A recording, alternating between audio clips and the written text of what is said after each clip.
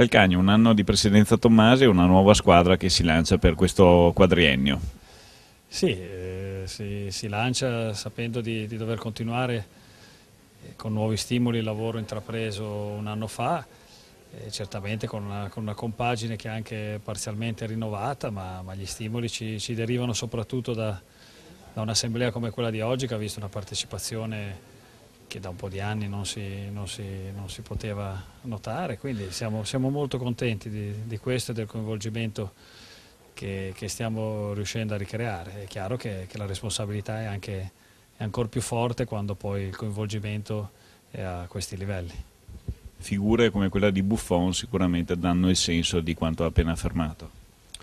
Sì, sì, non, non, non deve essere una, una situazione che, che come ci hanno chiesto alcuni, alcuni tuoi colleghi, eh, ci debba far sentire più forti per contrastare qualcosa e certamente ci dà, ci dà ancora più la percezione di quello che stiamo facendo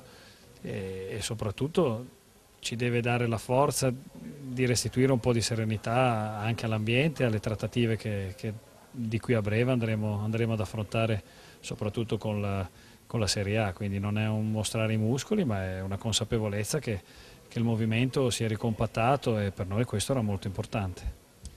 Sul tema della salute l'AIC è sempre stata estremamente attenta ed attiva, forse bisogna cercare di fare qualcosa in più? Eh, sì, il tema della salute ovviamente ha tanti ambiti perché il settore dilettantistico rispetto al professionistico ha tipologie di, di problematiche differenti.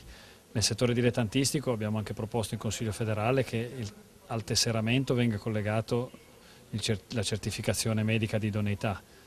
eh, perché diventa poco comprensibile come si possano avere situazioni di calciatori che svolgono la loro normale attività agonistica senza avere un certificato regolarmente depositato. Nel settore professionistico eh,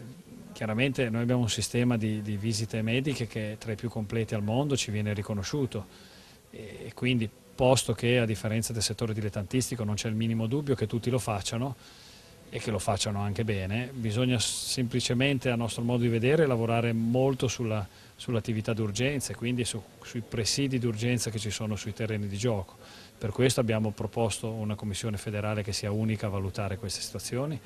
e un pronto soccorso sportivo che sia quindi un'unità coordinata all'interno di ogni terreno di gioco dove si svolgono partite professionistiche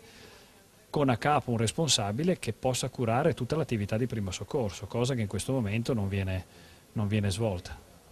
Contratto collettivo si torna di nuovo in argomento con la speranza di chiudere in tempi rapidi e adeguati il nuovo accordo. Speriamo con, con la giusta dose di buonsenso, di serenità perché eh, sarebbe veramente un messaggio